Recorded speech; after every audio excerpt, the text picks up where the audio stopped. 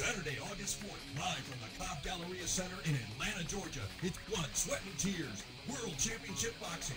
Watch Grady Brewer as he takes on Giorbis Barthelemy for the IBO Intercontinental Junior Middleweight Championship. Also on the card, watch hard-hitting Breon Brickhouse Smiley as he takes on Marcus Don Hall in a light heavyweight showdown. For tickets, go to bettingvilleboxing.com and catch all the action live worldwide on LDLTV.com. Sweat, and tears live.